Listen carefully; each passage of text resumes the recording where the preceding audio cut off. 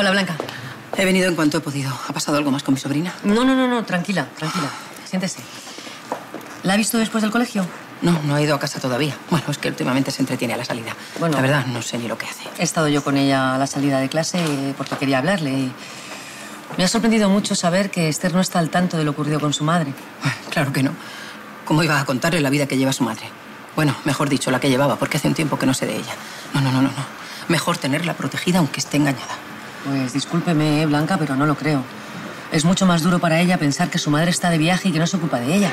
Bueno, es que eso realmente es lo que está pasando.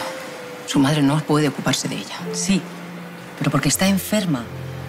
No puede criar a su hija porque no puede ocuparse de ella misma. Esther tiene que saber el por qué. Pues yo creo que es mejor que piense que se ha ido lejos. ¿No lo cree usted así? No, ella necesita saber la verdad. Además, todas estas mentiras la están alejando de su lado. Esther piensa que es usted la que no quiere que vea a su madre. Ya lo sé. Bastante me lo ha reprochado. ¿Y usted qué le dice? Pues nada, ¿qué le voy a decir? Si cuando se pone así, no escucha ni quiere escuchar. ¿Lo ve? Se lo está pidiendo a gritos. Necesita saber la verdad. No, no, no soy capaz. No quiero romperle el corazón. Bastante ha sufrido ya. Blanca, escúcheme. Usted es la única familia que tiene, la única con la que puede contar. Necesita confiar en usted.